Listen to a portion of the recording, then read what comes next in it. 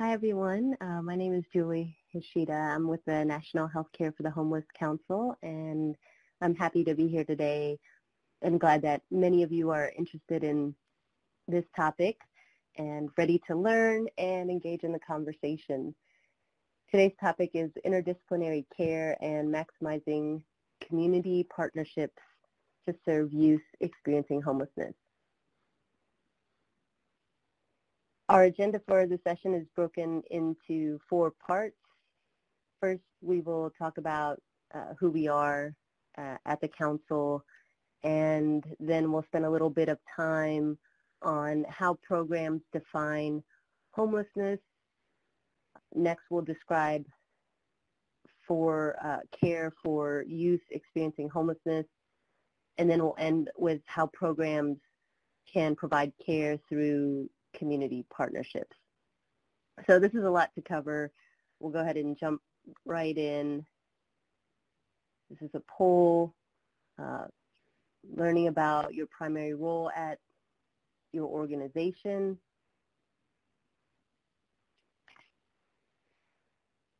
and if you haven't already, I would encourage you to visit the website for the National Healthcare for the Homeless Council at www.nhchc.org. Uh, if you're not already a member, you can sign up for free as an individual member.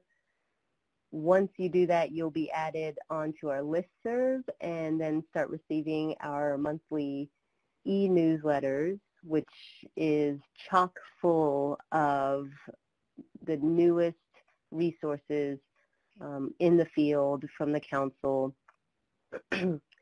um, similar to School-Based Health Alliance, we are primarily funded to provide technical assistance and training. Uh, technical assistance is free.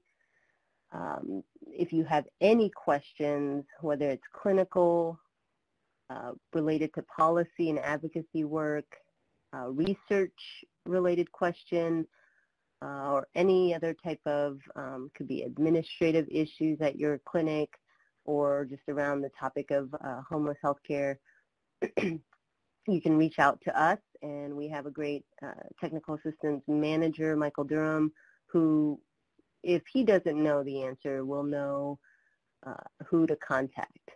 And so you can reach out to us with any questions or issues, and we're happy to direct those and respond to those questions. Uh, also, with our trainings, we have an annual Healthcare for the Homeless conference every year, uh, but we also have regional in-person meetings, uh, virtual trainings, and then uh, regularly uh, scheduled or uh, yeah webinars. so at least two a month um, so again, if you're if you sign up for our individual membership, that uh, will sign you up for the e-newsletters, and you'll learn about uh, all the trainings and available resources that we have going on each month uh, and upcoming. We have, uh, we're small staff, but we have a policy and advocacy team uh, located in Baltimore. Uh, so if you have any questions or concerns, uh, around policy and advocacy. We have a great team to respond to that. We also have a research team and as well as research committees. So if you're um, interested in research or your organization, uh, either as an organization or an individual, um, we have opportunities for you all to participate in research or get your uh, questions around research answered. We also have special topics that we address at the council, including medical respite. So medical respite are for folks who are um, experiencing homelessness, go to the hospital uh, for treatment, emergency room, and then once they're discharged, they still need a place to recuperate, um, but they're discharged back into the streets. So our medical respite programs uh, help to support those individuals, give them a place to uh, rest and recover. Sometimes it's a clinical, uh, uh, they have uh, medical providers at these medical respite programs. Sometimes it's more just uh, a shelter, but that um, caters to their situation. Um, so we have a great medical respite coordinator uh, who's very knowledgeable. We also have a committee dedicated to this topic, so providers and administrators from all across the country uh, meet regularly once a month. Uh, they meet twice a year in person um, to talk about uh, these issues to help navigate uh, and guide the work of the council and help direct us and uh, tell us about challenges and issues that uh, they're facing in their communities and uh, in, in that way navigate and lead uh, the council in our projects, um, in our national projects. We also have a supportive housing, uh, uh, well, we have a relationship with the uh, Corporation for Supportive Housing and we have a supportive housing uh, project lead, so Lauren Berner. She does a lot of work on this topic, papers, trainings, um, other publications, and uh, webinars and such. So it's a topic that we have a special interest in. And then one of our uh, few committees, the Clinicians Network. And so some people uh, kind of shy away from the word clinicians, um, thinking it's only for, you know, uh, medical doctors or nurse practitioners, but uh, for the council, clinicians are anyone who has direct contact with consumers or clients. Uh, so if you're doing, for example, outreach, um, or you're a social worker, um, therapist, dentist, uh, ophthalmologist, any other type of medical provider, um, you know, or again, you're just doing more of the enabling services. So doing translation, interpretation, uh, providing transportation to consumer clients, any type of uh, direct contact with clients would be considered a clinician. Um, so we encourage you all to join the Clinicians Network. This is free, again, a way to um, not only engage in our work at, at, the council, but to get that peer support, to connect, to build a community for yourself uh, in this uh, sometimes difficult work that we do. Um, you know, sometimes it feels sort of isolating working with this population and maybe nobody else in your community uh, is doing is, or locally is, is doing the uh, specific work that you're doing, um, having a, a community on national level really gives support, I think, for folks who who are really um, who are really needing that. And again, great way to just engage with just a passionate uh, group of individuals. So please uh, encourage you all to visit the website, see what we have going on, reach out to us and um, yeah, we look forward to working with you all. oh, and one of the, the best things, I, uh, well, one of the things uh, at the council, I think, is the mission. And one thing it, that that we believe is that one one is too many. One one individual, one child is too many. Um, experiencing homelessness, experiencing hunger. Um, and here are just some numbers just to ease us into the context of what we're talking about today. So in 2017, well, this is the latest report from the U.S. Department of Housing and Urban Development. Uh, the last report came out December 2017. Uh, they reported 40,800 people were experiencing homelessness as unaccompanied youth. The way they define unaccompanied youth is an individual under the age of 25 uh, experiencing homelessness on their own. Uh, also, the same number, so um, in January 2017, about 185,000 people in families with children were experiencing homelessness. And this is um, any night, you know, one night a year. So for on one night, this is the, the count that they had. and then just fewer than 22,000 people were in families with children in which the head of the household was in unaccompanied youth, so uh, someone aged tw- uh, under 25. and the U.S. Department of Education reports that public schools served a total of 1.36 million youth experiencing homelessness in the uh, latest school year that they reported, which is uh, 2015 and 2016 school year.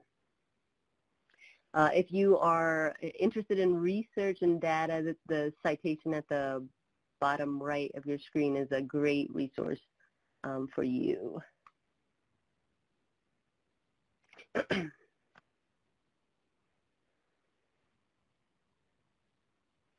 okay, so uh, I tend to start with, uh, for my presentations, uh, defining homelessness especially when speaking to groups that maybe don't have uh, as much experience or exposure to the healthcare for the homeless field. Uh, because part of providing culturally sensitive care is breaking down stigma. And in defining homelessness, this can help reassess the image that uh, many of us may have in mind when we think about, you know, quote unquote, a homeless child, the homeless child. When we have this thought, sometimes we think the, the we go to the most extreme uh, version of street life, which may certainly be the case.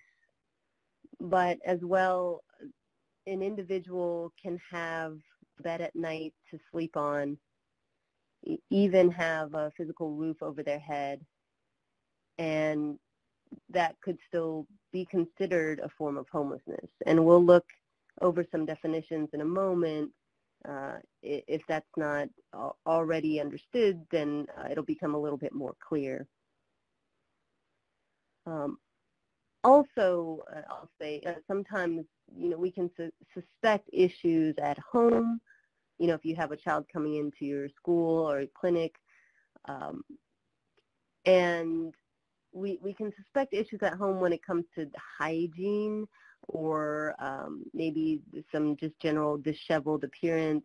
And we use that as, um, or you all may use that as a, as a best indicator, um, but in many cases that may not be true, um, especially if you're thinking about, you know, a parent who is who is terrified to get their child taken away if they and they think if they if you if the system if another adult finds out or someone in the school system finds out that they're sleeping in their car um, at night or they're jumping from motel to friend's couch to um, you know parents couch and they're kind of moving their family around moving their children around um, they're going to do whatever it takes to make sure that their children um, don't bring any suspicion of their living situation to school. So they take really good care of making sure that there's no, um, you know, the children are dressed in clean clothes, um, they're showering every day, um, and so, and they may even be, um, you know, telling the child, you know, make sure that, you know, this is not something that we're, that we talk about and again, they, they don't want to to cause any suspicion to um, take that risk of, of losing their children. so, um, and and I don't think anyone uh, would argue that you know it has to be an extreme form of homelessness or living on the streets for a child to um, benefit from uh, the services that we're offering at our clinic. So in defining homelessness, uh, it depends. It depends on um, the funding, the funding agency. But one of the, uh, the common denominators for the definitions is instability of living arrangements. So instability is that critical component.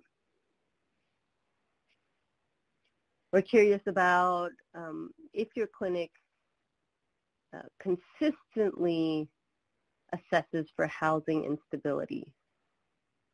And how that question is asked, I think, um, you know, th there are best practices for that. If, if you have questions, please reach out to us.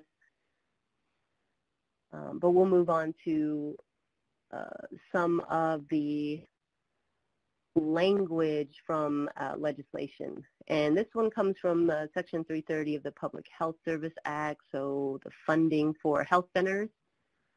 Um, this one provides examples like shelter, mission, single-room occupancy facilities, abandoned buildings or vehicle, but again, the language um, of uh, instability, so unstable or non-permanent situation. Uh, this one from the U.S. Department of Health and Human Services, uh, again, the Section 330. Um, this one also provides the um, examples, um, but again, uh, or, or this one uh, points out, I'm sorry, at the end, uh, right here, it says resident in transitional housing. So transitional housing programs where you know, individual may even have a key to their uh, a place.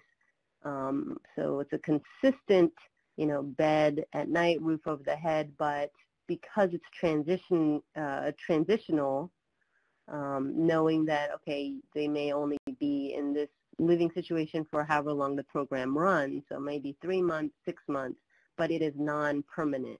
They're not planning to, they can't stay there for as long as they'd like. Um, and so in that case, they would be uh, qualify for homeless services. Uh, the McKinney-Vento Homeless Assistance Act, for many of you on the school system are familiar with, with um, this one. Um, again, it provides some specific examples, talks about uh, shelters, uh, transitional shelters, public spaces, abandoned buildings, um, substandard housing, and uh, similar places. And then going back again to the Health Resources and Services Administration, um, this one comes from a program assistance letter.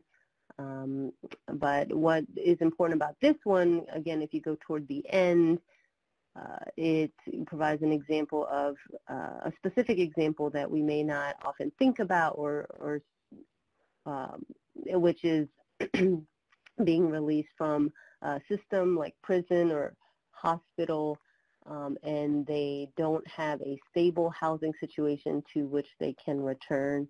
Um, also, they uh, focus on the doubled up uh, experience. So this is kind of what we see maybe with the older youth, which is uh, couch surfing, you know, jumping from friends to friends house or even family or relatives. Um, but again, it's instability. It's not permanent.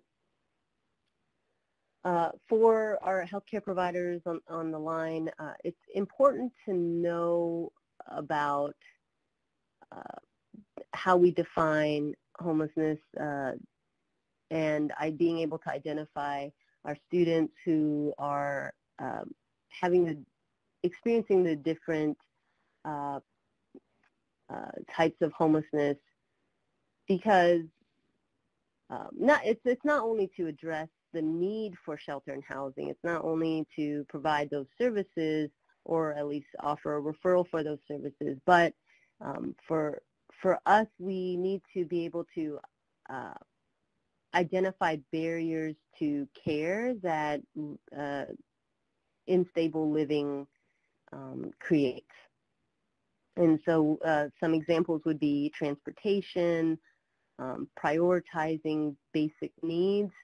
Um, so if they if they're trying to shuffle to get to um, the shelter in time before the curfew, or and so they their um, transportation, their bus doesn't take them from the clinic uh, to the shelter in time, they're not going to prioritize coming to a healthcare appointment, follow-up appointment, and then miss um, their curfew at the shelter. Also, things like medical care treatment, if, uh, you know, common example we provide is the refrigeration of medication. So if you're if you're spending night in your car and your medication, you don't have a place to store your medication, um, that would be a barrier to care that um, folks who have a stable place to live don't um, maybe have to think about. Uh, also, homelessness exacerbates health issues. Um, and then we're also thinking about a critical developmental period for youth. So we, what we know about brain development and trauma. So having, uh, experiencing homelessness during this critical time is going to impact them in ways that uh, their housed counterparts may not have to think about uh, or may not have to deal with. And then uh, for administrators on the call reporting to the Uniform Data Services or the data system or UDS, uh, that's going to be important not only to um, help inform the need for more funding for homeless services um, but also just having accurate data as far as a number of children or people experiencing homelessness. So again, um, definitions are going to depend on funding streams um, and why that's important, not just to know how you, how you as a program uh, defines homelessness, but your partners when you think about uh, connecting with other services in your community, um, how are they uh, defining homelessness not only for their mission, um, if they're mission driven, but uh, also thinking about where they're funding, where they're able to um, uh, allocate their funding if uh, homelessness is defined uh, in a certain way or they're only providing a certain type of, you may be shelter only type of homeless experience, um, then you know, that's something that you two would have to navigate as a, as a partnership. Okay, so we're going to spend the rest of our time, the brief time that we have together, uh, thinking about interdisciplinary care and community partnerships.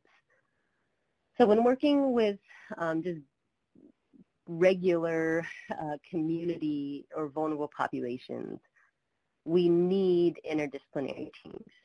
Uh, because they, this is what responds to the whole person and the whole person's uh, healthcare needs. And when, again, we're thinking about barriers to care, this is um, one way to address uh, a, that barrier of transportation issues, about availability of resources with timing, uh, with time, resources, as well as financial resources, having uh, interdisciplinary care team in one location is going to be ideal for uh, our populations. And many of us are well aware of that.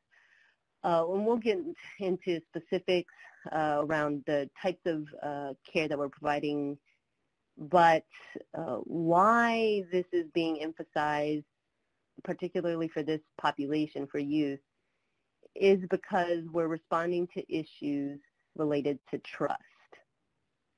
I'll speak on this briefly, but uh, promising practices for working with youth require these six equally important elements.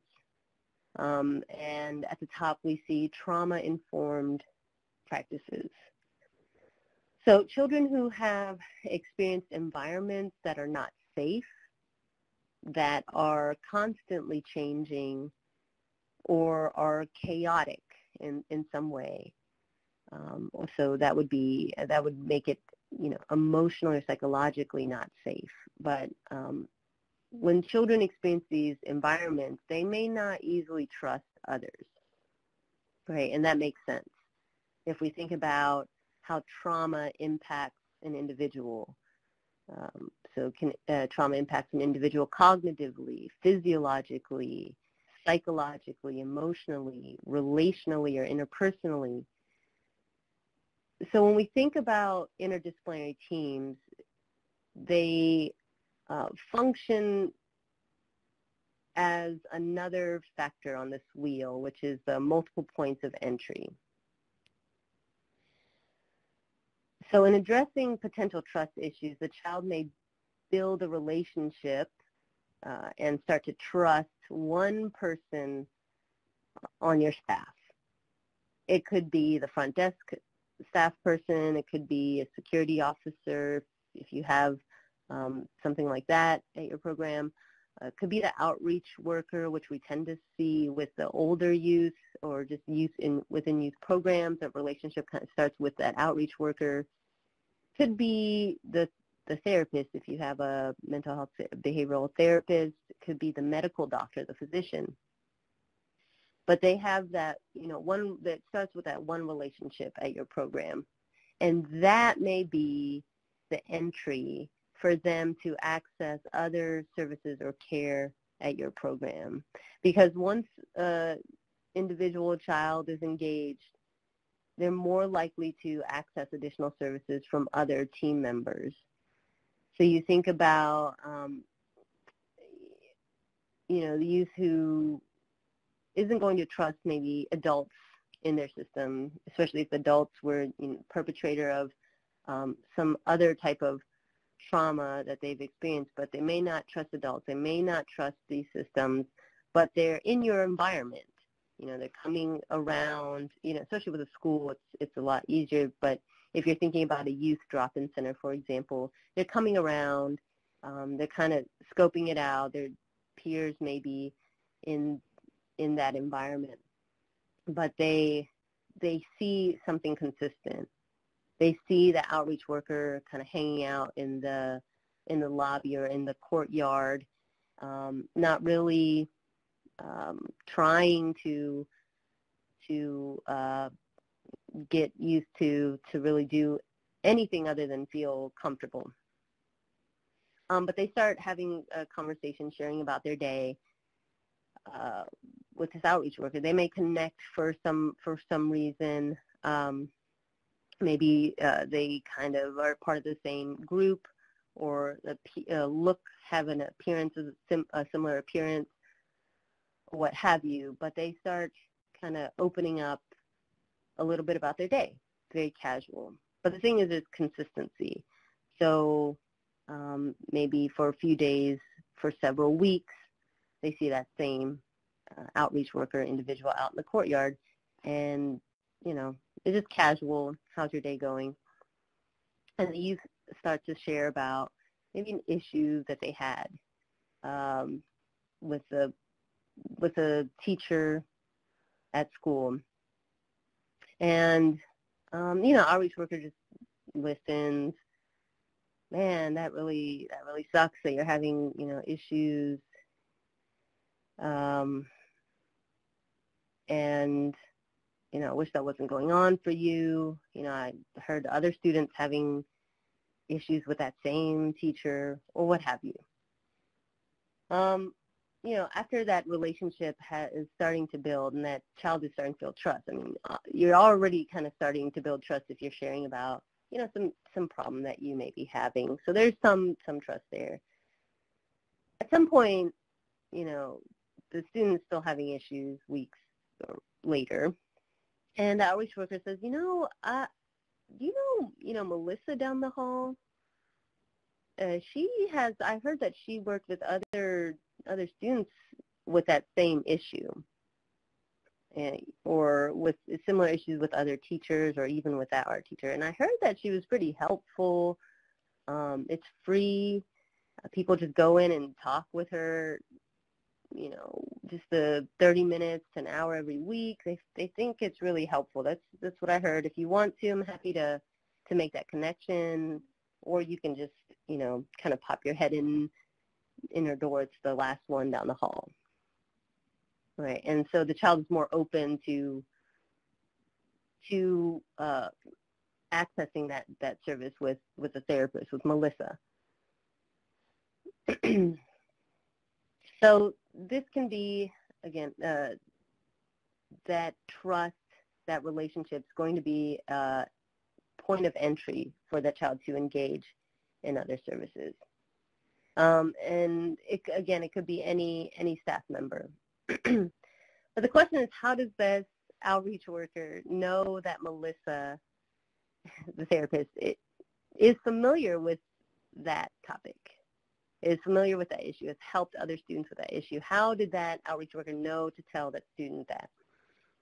Um, and it, we're not lying to the, the clients, lying that's just disingenuous and breaks trust. So how does the outreach worker know this? Um, it's these interdisciplinary care team meetings. These interdisciplinary care team meetings are places to support our staff. Um, it's not just to share about new rules that we have at the program. It's to share about success stories that we have with clients that are coming to our programs without breaking, you know, confidentiality or anything like that.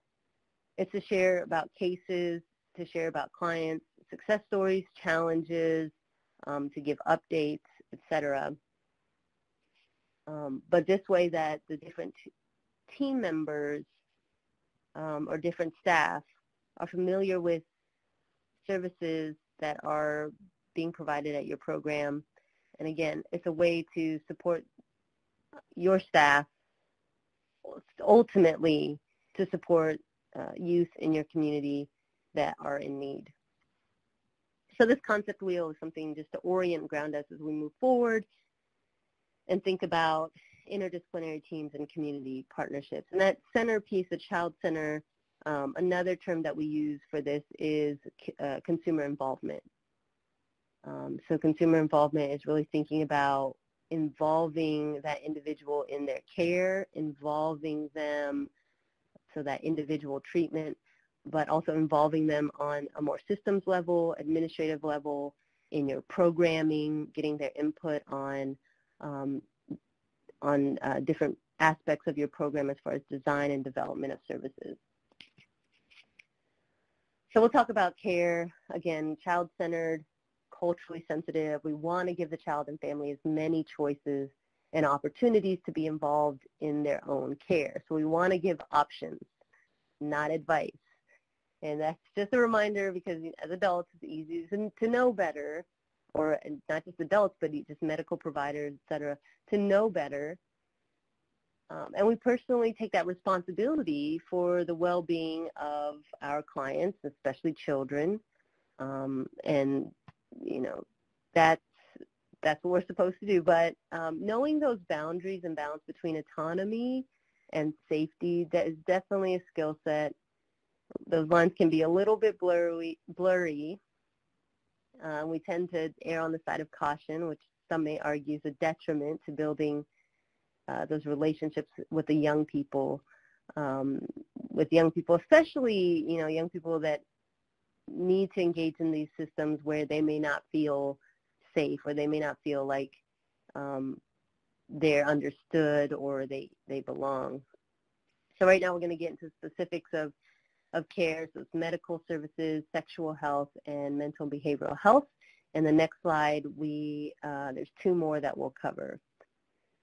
But first, uh, medical services. When working with this population, we find that on top of common ailments oh, that we see in general population, like the cold, uh, like a cold or flu, uh, some of their acute and chronic conditions are related to the living conditions.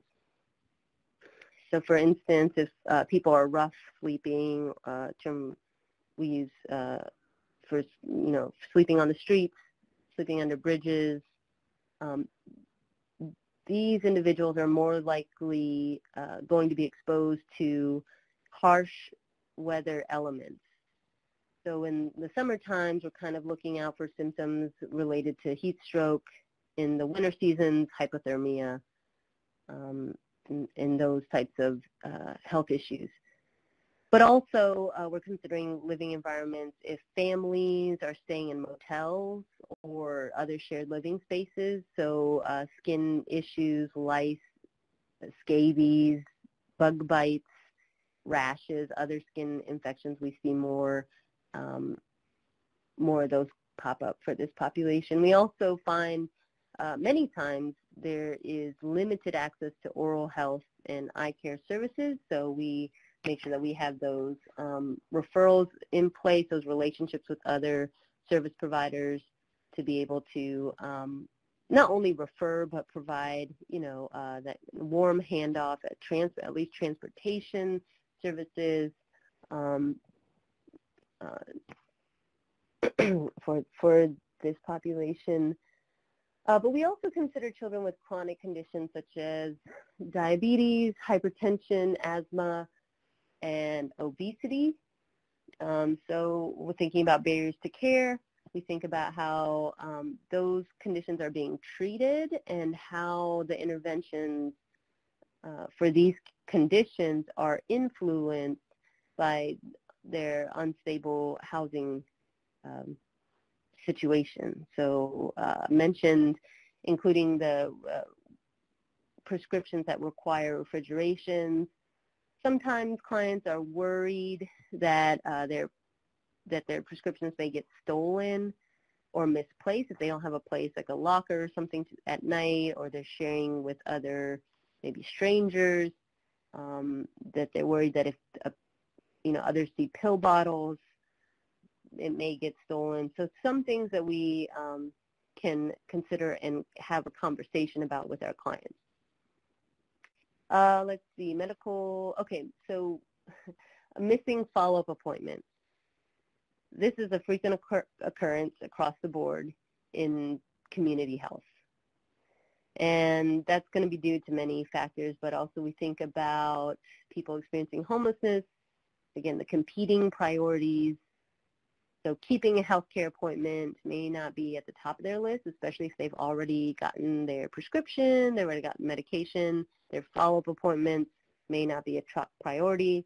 So having that conversation with that client, um, just opening that up with them, doing motivational interviewing techniques, that has shown to increase consumer involvement in their care, but also making sure that they're getting um, everything that they that they need and um, you're addressing any barriers that they have to um, making any follow-up appointments.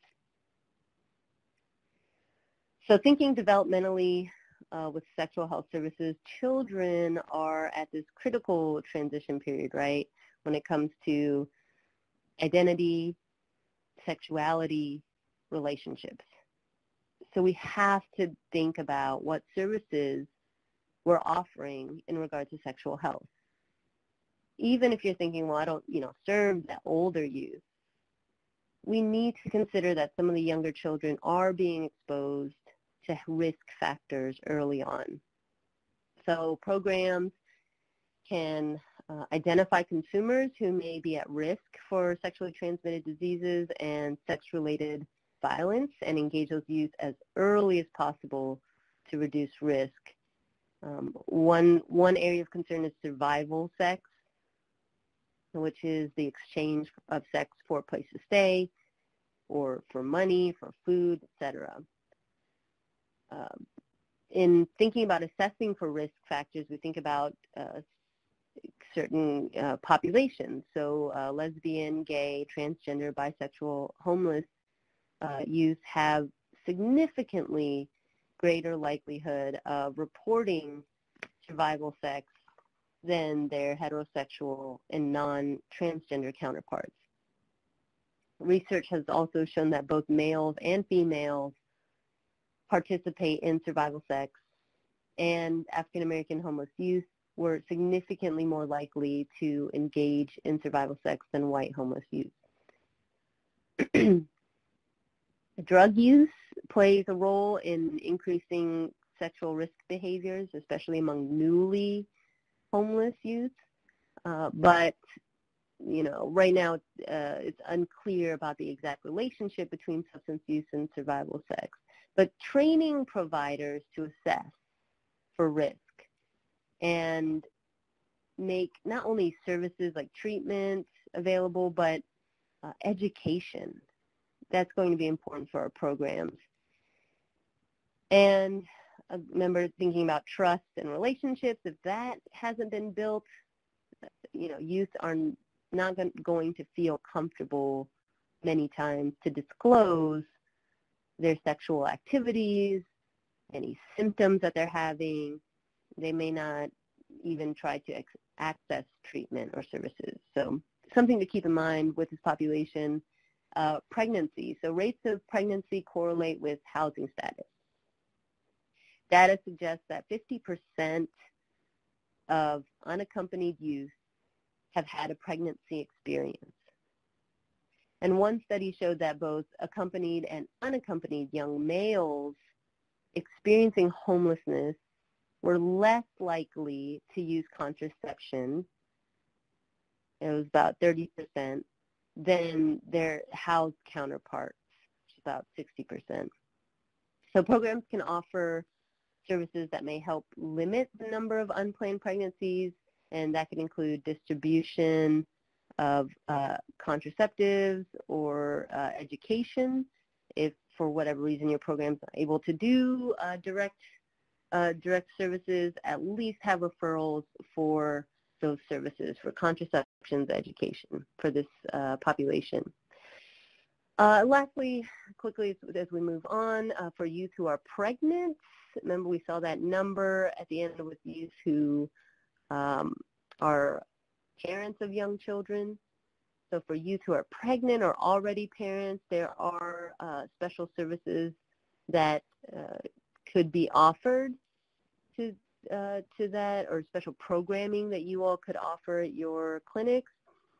But the National Network for Youth, and NN4Y, right there on the slide, suggests that um, will suggest has a list of uh, practices and programs for pregnant and parenting youth. So uh, I would recommend visiting their website and accessing that list and resources. And I'm happy to to share that with you too if you're um, if you're interested. Can't uh, can't easily find it.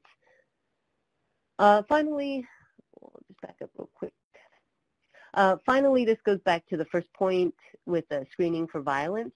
So youth experiencing homelessness are at increased risk for intimate partner violence. And that's due to several potential factors, including turning to survival sex, uh, using substances, and uh, participating in illegal activities. So that's going to increase their vulnerability to exploitive relationships and interpersonal abuse. So assessing and addressing abuse uh, and imminent danger is, is part of creating this safe space for youth.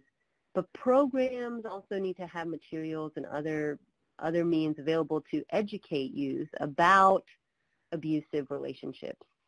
Um, because they, if they grew up in uh, exposed to violence or exposed to adult relationships that were abusive, then they would think that that type of behavior is normal and that's just that's just life.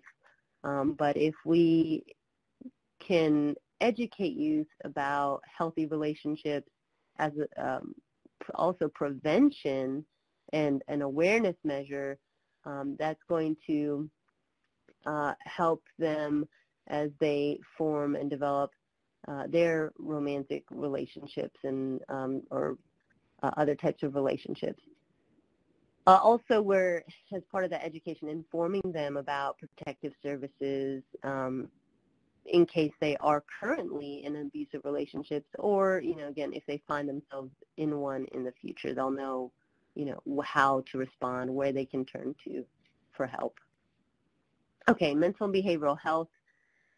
Standard mental behavioral health services for youth experiencing homelessness include regular screenings and treatment for depression, anxiety, other mood disorders, um, also suicidality, so risk and uh, risk a risk assessment for suicidality, uh, post-traumatic stress disorder. We'll talk about trauma in a moment.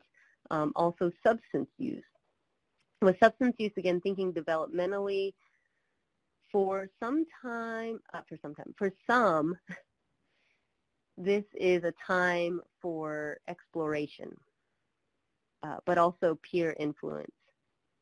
And again, young people who use substances do hear these messages from uh, adult outsiders who are saying drugs are bad for your health. You know, they hear that message, they get it. But if these kids are suffering from a mood disorder and, and not getting treatment, uh, and their symptoms are getting worse because of the stress of unstable living conditions, they may be using it as a coping strategy, uh, using substances as a coping strategy. And we find that very common as, uh, as a trauma response. So it can be difficult for adults who are providing care to not have this judgmental tone about substances.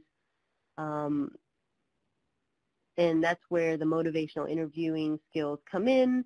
That's where having these harm reduction programs that are part of our clinics uh, become very uh, useful for us and beneficial for the client.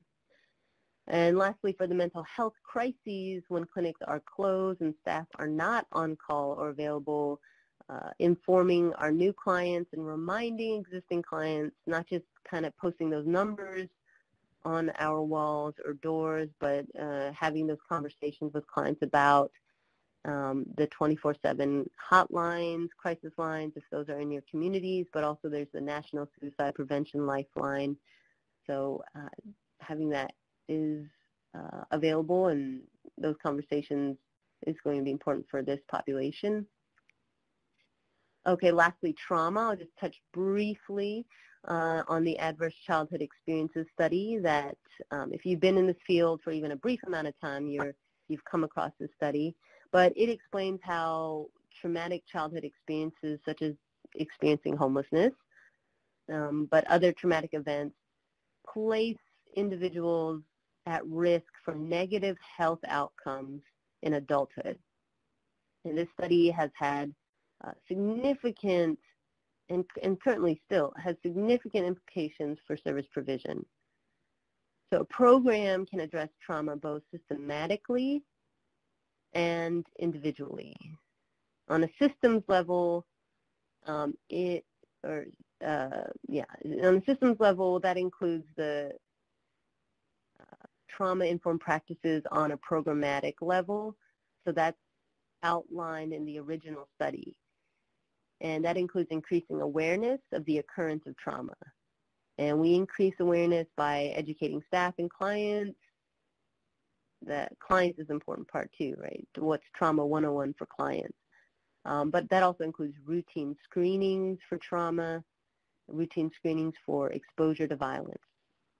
The other um, practice is an understanding by staff and clients of the behavioral coping strategies that individually that individuals commonly utilize to mitigate the emotional impact of the traumatic experiences and that's what we that's what I mentioned about the substance use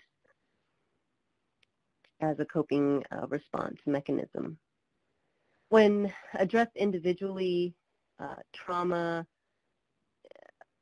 is uh, more uh, addressed on a, mental health, behavioral health uh, treatment um, method. So that's going to be narrative therapy, some type of uh, therapeutic model, but narrative therapy, uh, eye movement desensitization and reprocessing therapy, EMDR, uh, expressive arts has been proven to be effective to mitigate symptoms and provide long-term treatment for trauma, but uh, mental health provider is going to be able to do that type of assessment for uh, the type of trauma and treatments that's going to be appropriate. But if you don't have that as part of your interdisciplinary care team or part of your clinic, uh, having those referrals in place so that community partnership is going to be essential really important for, for this particular population. Again, thinking developmentally, how this the trauma is having a lasting impact on that individual all the way up until, um, you know, if if an individual is fortunate enough to um, make it to a, a later age, it's going to have lifelong impact. So addressing trauma as early as possible is going to be uh, something that we need to think about as we're developing our programming. Uh, additional reasons for integrating trauma-informed approaches with this population is for our staff. So redu reducing staff burnout increasing um, engagement and increasing just overall organizational effectiveness. The last two types of care I'll highlight are uh, social and support services and healing arts and other creative interests.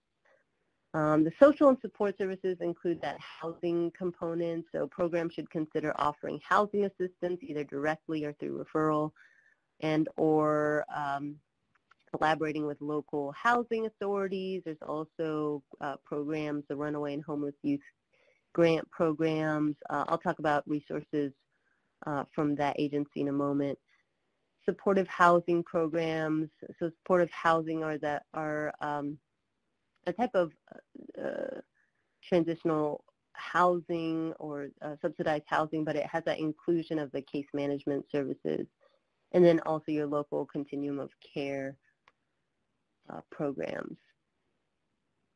In addition to housing services and case management, common uh, support so social services for this population include family reunification services, employment, uh, GED, other educational services such as career counseling. And so for you all who are working with schools um, or within schools, you're in an ideal position to have a focus and uh, on education and offer these uh, educational or em employment services.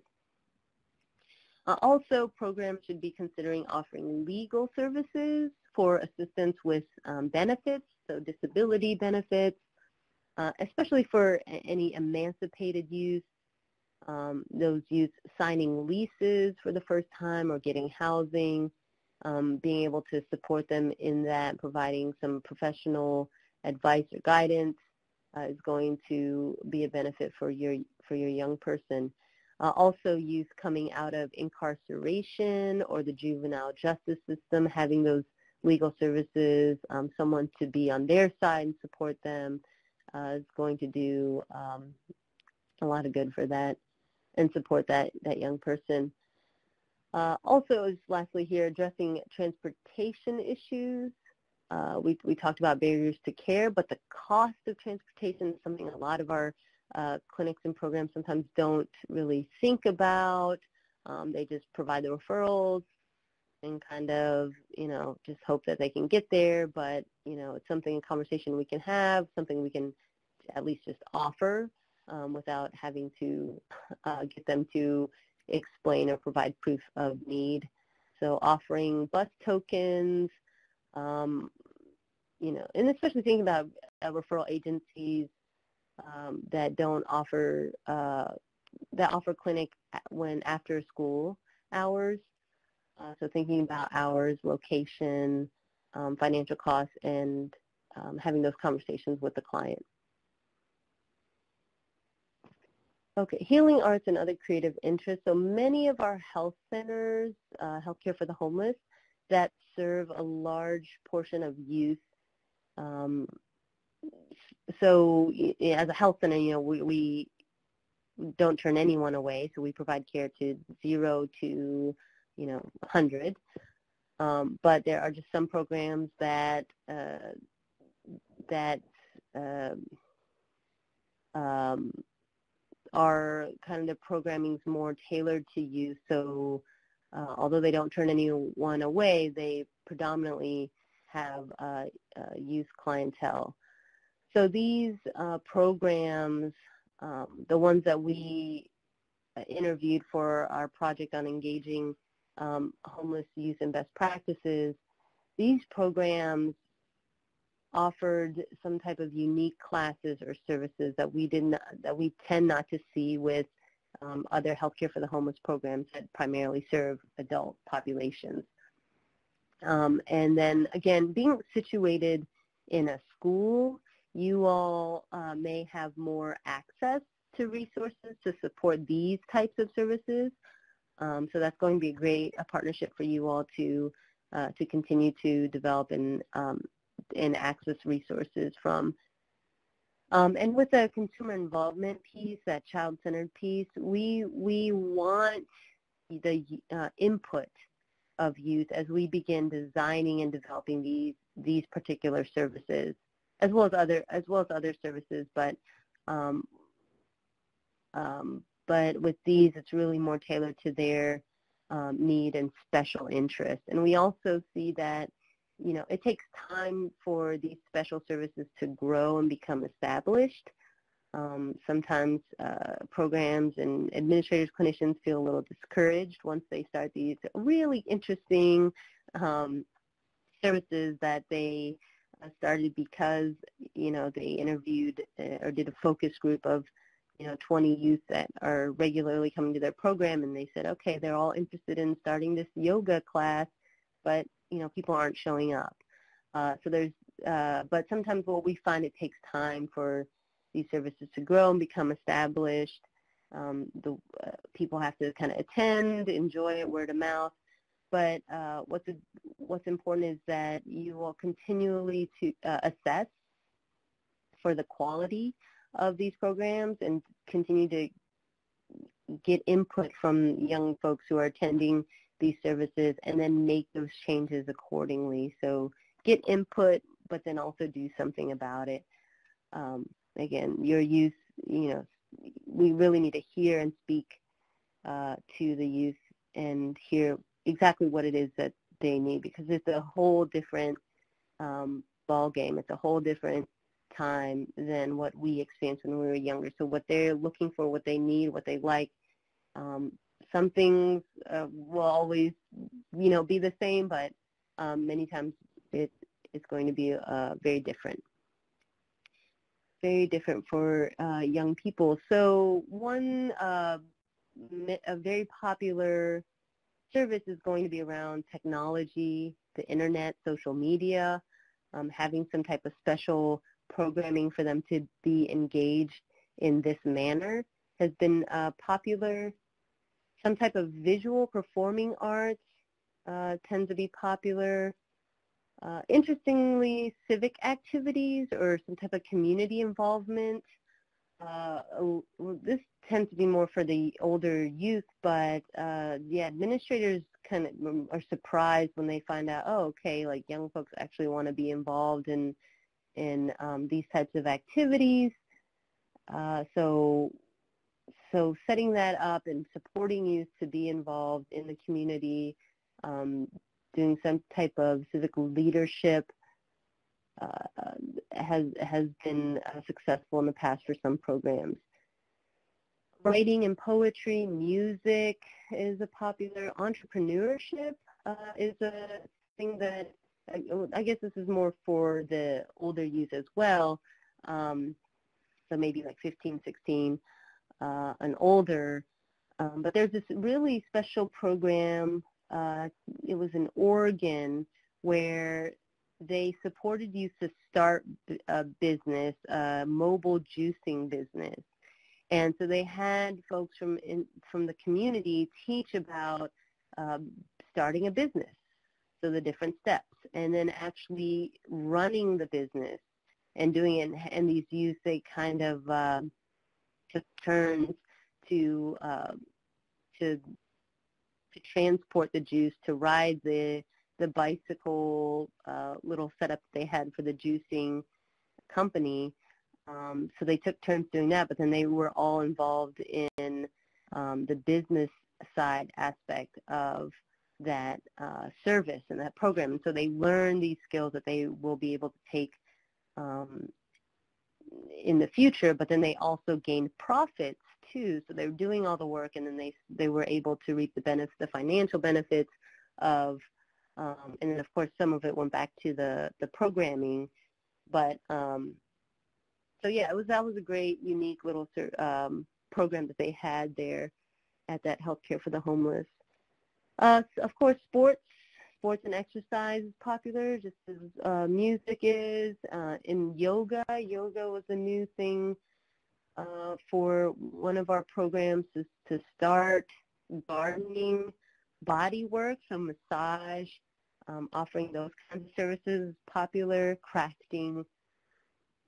Um, so yeah, these are just some options. If you're interested in, in starting these programs, I'm happy to connect you with other uh, other clinics that were and other programs that we're starting uh, some unique services. But again, getting input from youth, hearing from them what their interests are, what they want to start doing, developing, spending their time, um, and then building these community partnerships to be able to offer these services or refer your youth clients is going to be um, the best way to support them.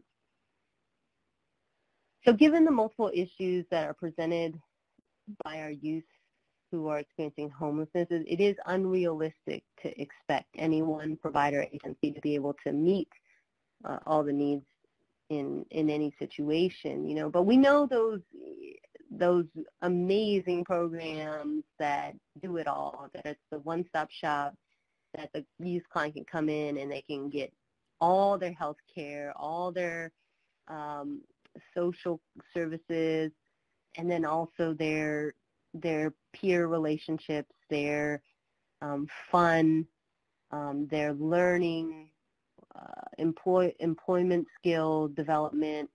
They get all of that in one place. We know those programs, but you know those programs didn't happen overnight. They didn't happen over a few years. Many of them took decades to be that successful, and to um, but it but and they have these great community partnerships to be able to support their programming as well. Um, but it, it starts small. It starts with these community partnerships. We need each other. We need to be able to share our resources, not just financial resources, our staff, our time, to be able to support the young, the young children, the young, um, the youth in our communities and their families. so we had a poll uh, asking about who your current partners are.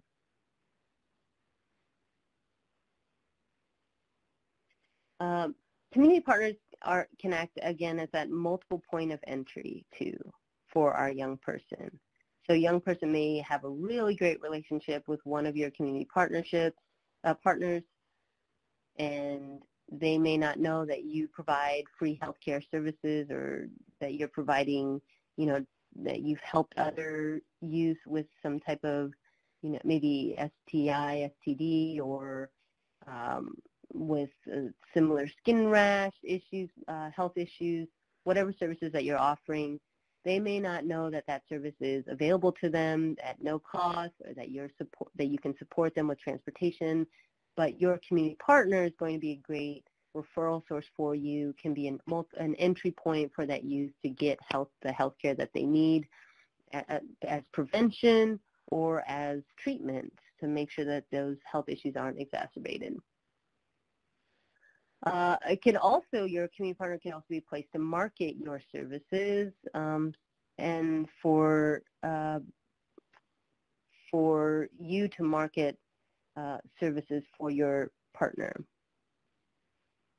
As a school-based health clinic, you're one step ahead of the curve because embedding medical services in agencies that youth already view as a trusted space is often an effective way to engage uh, this particular population, youth experiencing homelessness.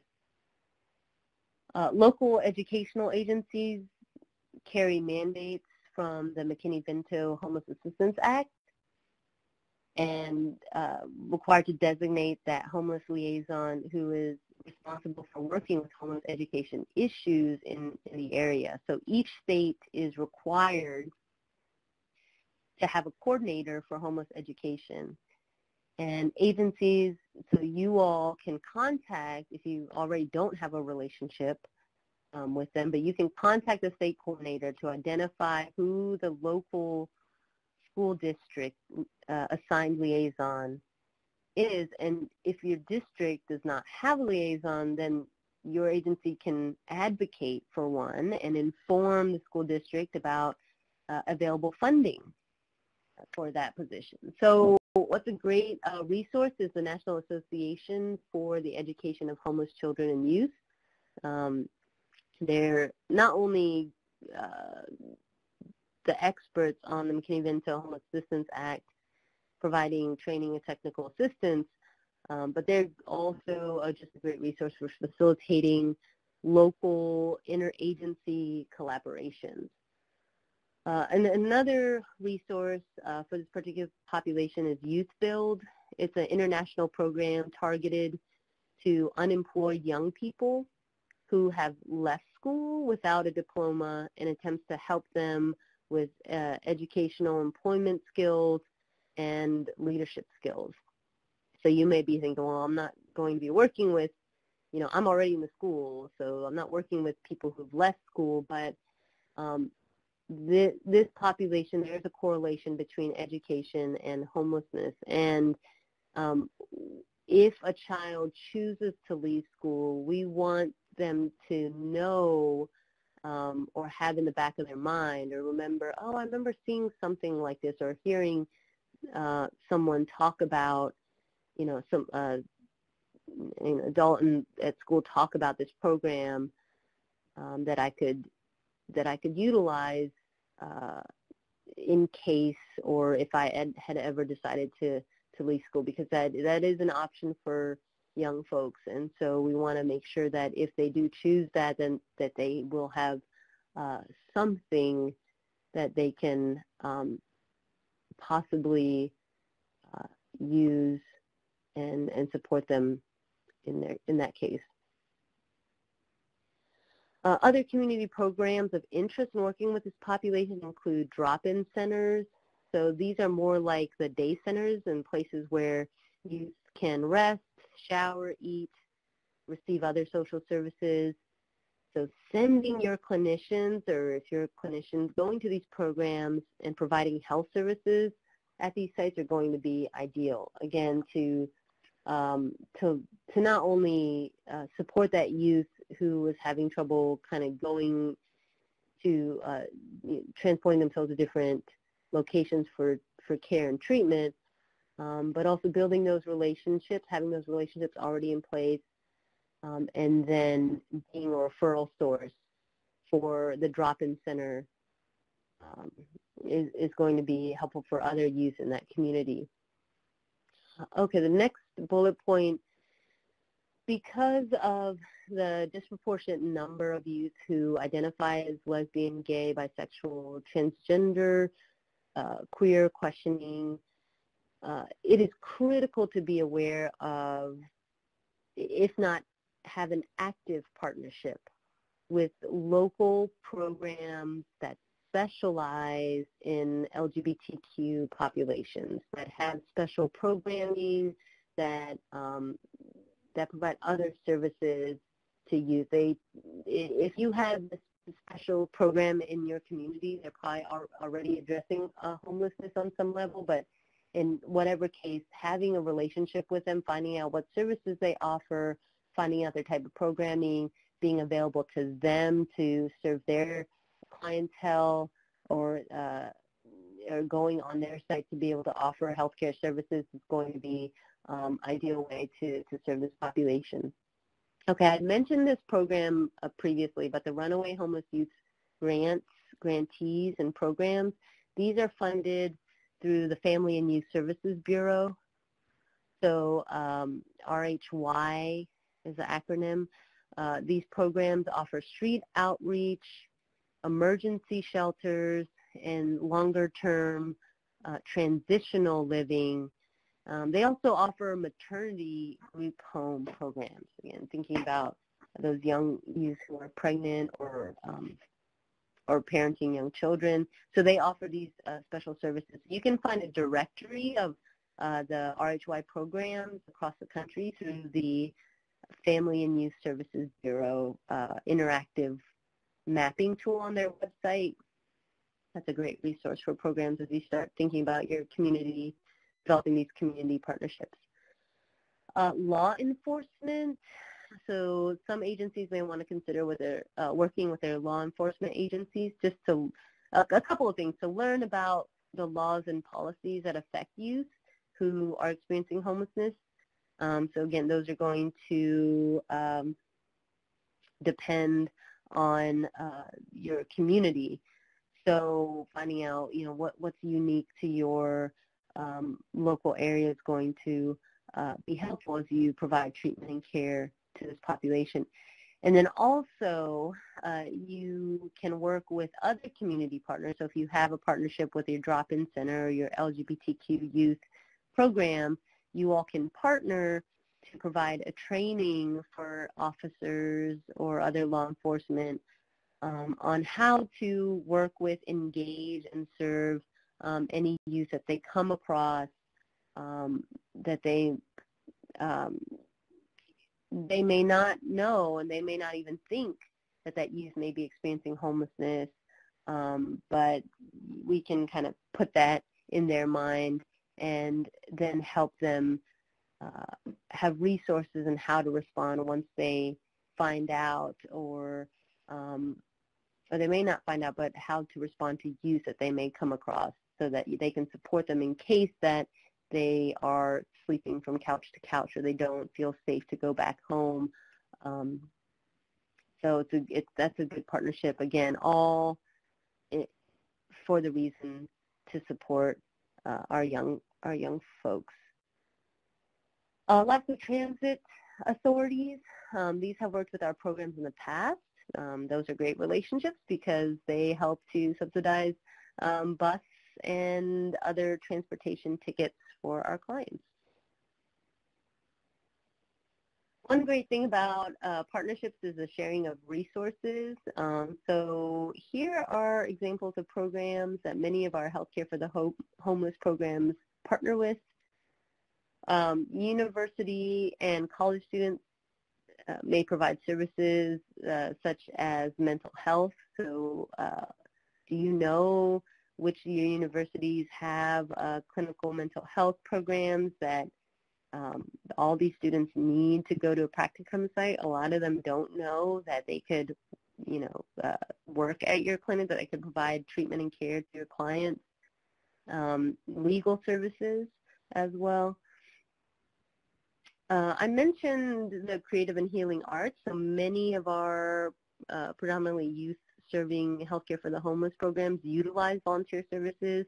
Um, but these are great for those types of pro- uh, special services because you know these providers really want to give back. So you think about the massage. Um, there's that program that provided um, four hours a week uh, a massage, and so it was a, a masseuse and their partner, and they would alternate weeks, and they just volunteered their time. Um, so a lot of people, uh, that professionals in, that offer unique services want to want to do this for uh, for our programs.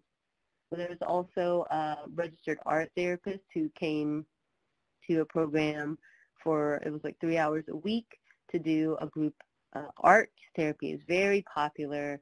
Um, again, if, if you don't have the funds or don't have staff that can run these programs, there are volunteers in our communities, professionals in our communities that are um, are independent um, business owners, and they provide their services, uh, you know, to us at no cost. Potential collaborators also include churches and other religious organizations. So a lot of people programs kind of stay away from um, from uh, faith-based organizations for one reason or, or another. Um, I think one one of the main reasons they're worried that um, the purpose of the religious uh, organization is not the same purpose uh, doesn't isn't just to serve the client. It's more to get the client involved in the religious um, religion or uh, religious uh, religiously affiliated activities. Um, so they don't want that to happen. So they kind of just altogether stay away from um, uh, churches or what other other faith-based organization. Um, but that's not the case for all all of these types of programs. Sometimes um, a church, for example, just wants to give their resources um, and help uh, people in need. Sometimes that's their only motive, um, and that's great. That's um, we uh, will take those resources. Sometimes they just want to provide a meal a month and with no strings attached, and that's great. And that's something that you can determine if that kind of um, organization, that faith-based organization is the kind that just wants to uh, support uh, your mission and you want to support, you know, um, that partnership. So they can be great collaborators. We had a uh, whole, whole um, it was a, a, Methodist church group that supported uh, this homeless program by opening its doors during the winter months. So whenever temperatures drop below a certain degree, then um, the homeless services would get their van, uh, pick up uh, anyone who was out in the streets, and the churches would be open. The churches will alternate by week. Um, so if it was that church's week, then if it dropped below a certain degree, they would have their doors open. They would also store all the bedding um, and open up their kitchen. So the home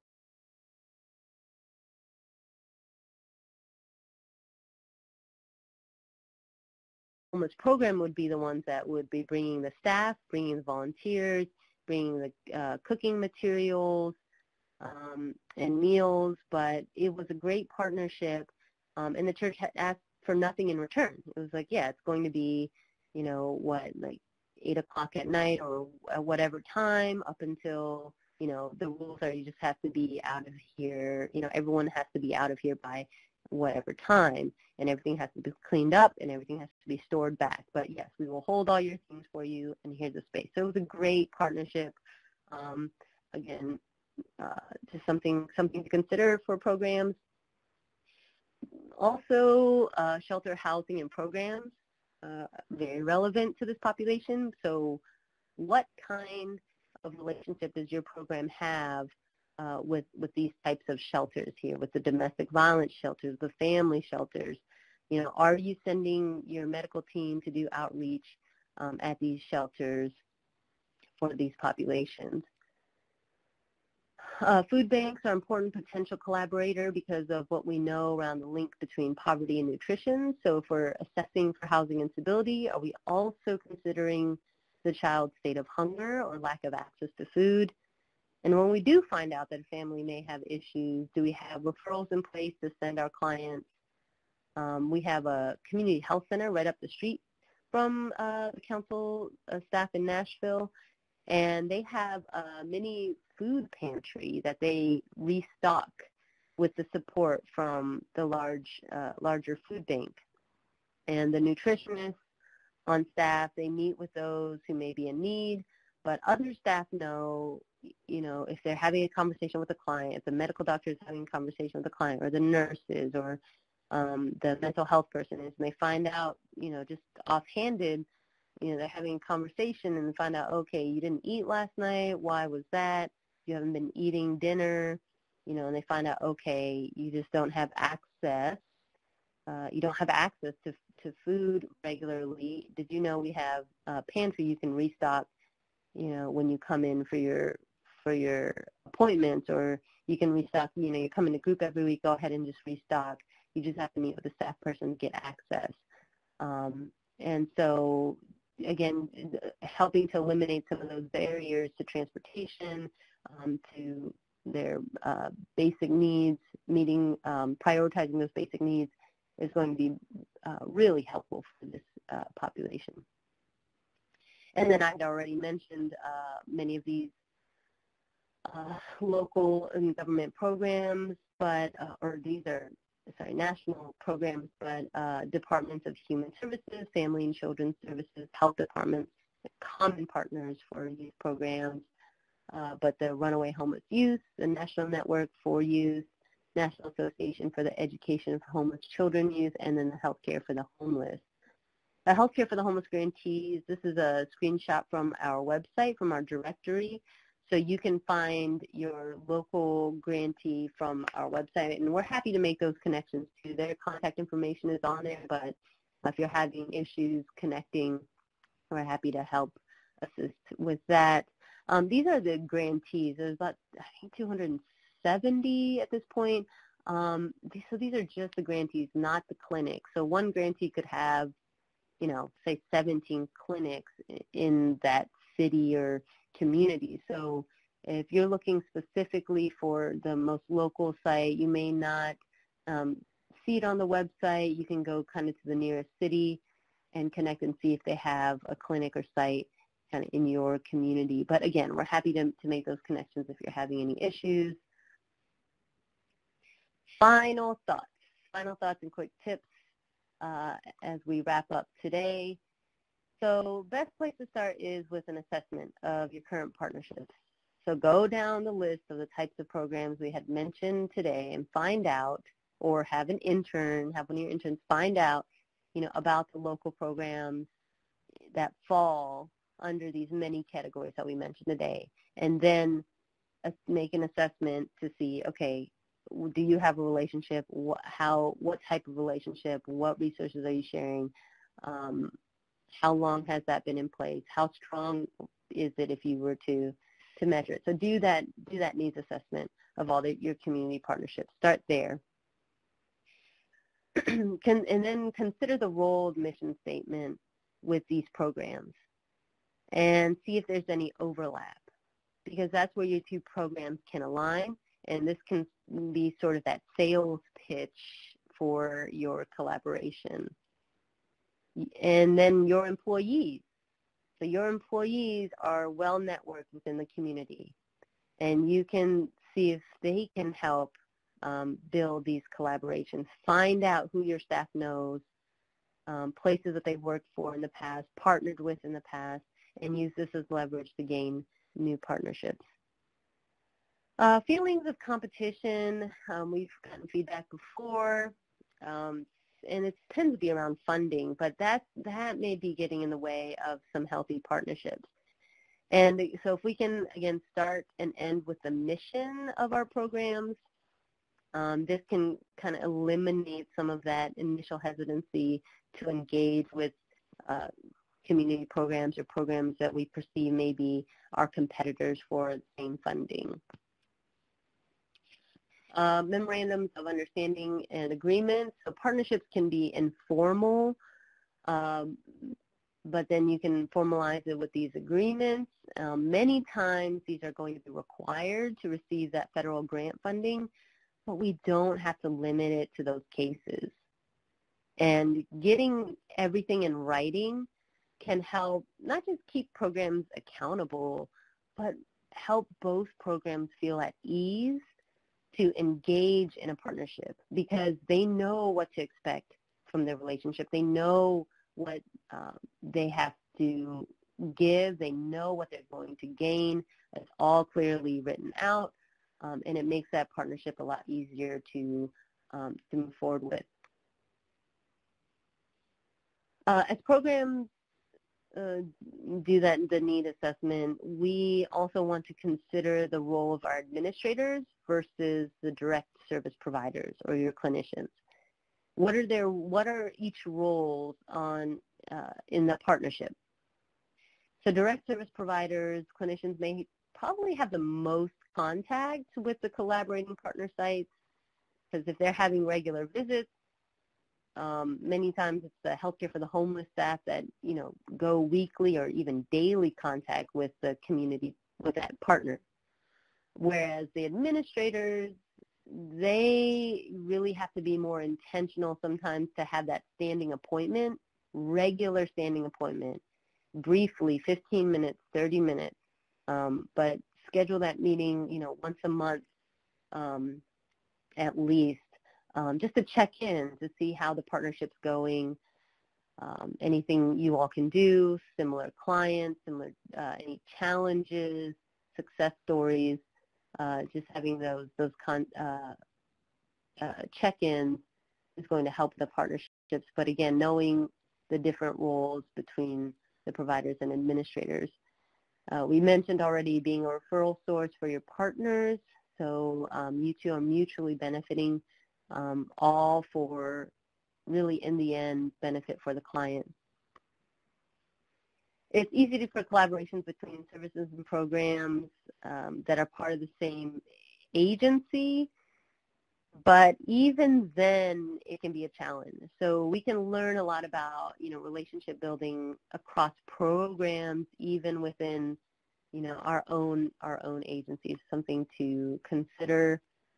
Uh, we talked about, um, you know, multiple points of entry, marketing our services. So collaborating agencies are places to engage current and potential consumers.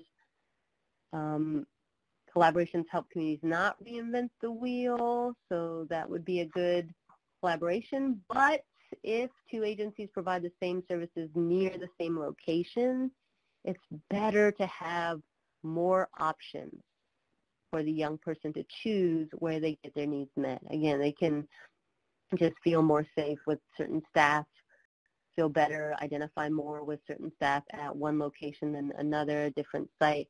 But again, this is all um, whatever whatever it takes for that young person to get the treatment and care that they need. That's that um, funding is important. We wouldn't be here without funding, but you know it's really all for um, the health and benefit of the young person. So that that's something that we can keep in mind as we um, sometimes may feel struggle with uh, some of the challenges we we face with uh, potential partnerships.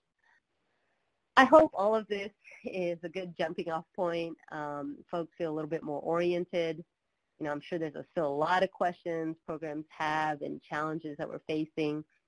If you plan to join us at the conference in Indiana in just a few weeks, uh, I'll be leading uh, the workshop and we will revisit some of these ideas, but uh, it's going to be more of a school, uh, small group activity and uh, folks will be able to discuss with each other some of the challenges they're facing with partnerships um, with these various types of programs, such as law enforcement or even interagency collaborations. We've heard issues with, you know, school administrators, et cetera.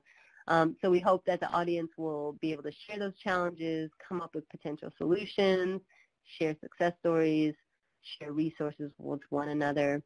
If you have any questions, uh, want to have a further conversation, uh, feel free to, to reach out to us. Again, the website's www.nhchc.org.